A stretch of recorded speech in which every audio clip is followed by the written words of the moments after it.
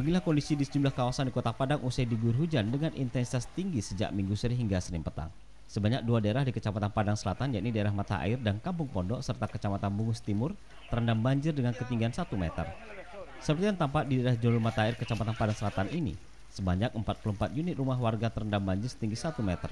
Banjir ini juga mengakibatkan lumpuhnya akses transportasi menuju lokasi. Sebagai antisipasi dini, sebelah perahu karet dan petugas BPBD serta relawan kebencanaan disiapkan setiap titik terjadi banjir. Kirakan tuh jalur Rawang tuh kondisi terkini lebih kurang satu meter ya satu meter ke arah ke dalam yang bagian perumahan yang di dalam yang di depan dengan air lebih kurang ada 30 cm. Sementara kami masih tetap bertahan di Lombok ini menjaga segala kemungkinan.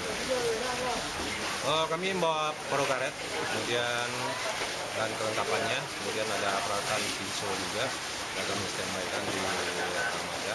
Untuk personil sendiri lebih kurang ada 25 orang. Sore ini kita turunkan. Dari Padang, Budi Sunandar, iNews melaporkan.